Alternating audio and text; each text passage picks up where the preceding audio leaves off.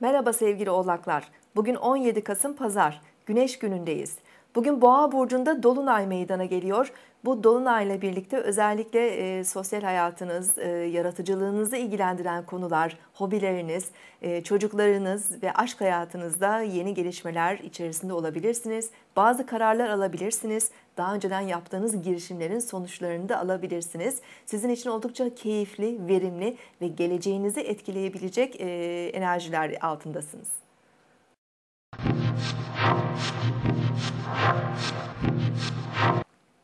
Burcunuzu dinlediniz. Bugün 17 Kasım Pazar. Güneş günündeyiz.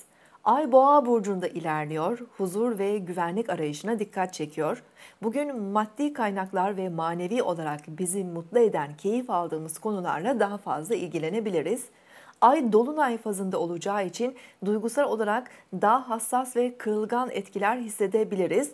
Bugün saat 17.17'de Boğa burcunun 25 derecesinde dolunay gerçekleşecek. Boğa dolunayları maddi manevi güvenliğimiz, sahip olduğumuz değerler, kazançlarımız, yeteneklerimiz, sanat ve beş duyumuzu etkileyen tüm kavramlarla ilgilidir. Dolunayın yöneticisi Venüs Plüton'la kavuşumda, Satürn'le sekstil açı içerisinde olacak.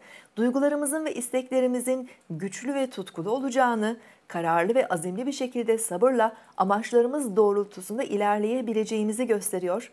Sahibi, sahip olduklarımızın değerini bilmeli ve onları korumaya çalışmalıyız. Yarın tekrar görüşmek üzere. Hoşçakalın.